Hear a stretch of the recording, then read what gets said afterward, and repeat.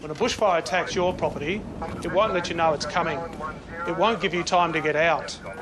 It doesn't care what it burns. It won't do what you expect. What a bushfire will do is take what is most precious to you. If you live outside the Adelaide inner metro area, you're a bushfire risk. Know your bushfire risk and make a plan.